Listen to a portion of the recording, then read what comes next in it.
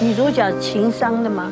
情商什么意思？就是就特别情商她来客串，情商两个字你不懂。所以这个我就不是伤心，啊对是情商，听的是情商。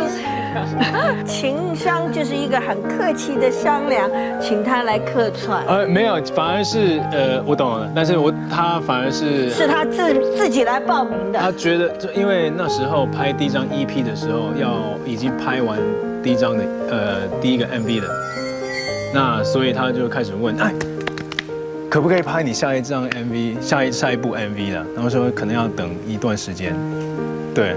那就是听到这句话，他很乐，他很乐意就问了，然后那我就很乐意的去回答他，我要开开始拍第二部 MV 了，那你可以拍吗？他可以啊，没问题啊。怎么会有问题呢？除非翻脸。如果不接的话，真的会被翻脸。其实他们两个，你们两个交情也是建立在拍。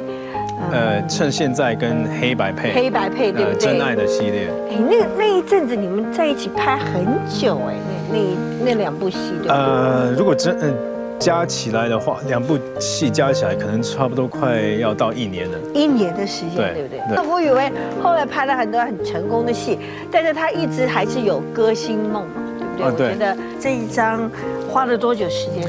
这一张也，我觉得应该。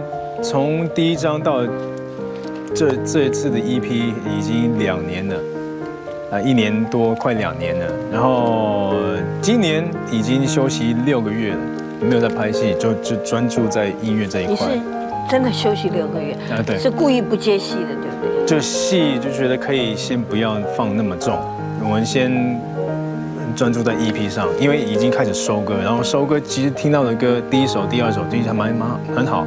我觉得可以实现我第一张 EP 的，然后就进行。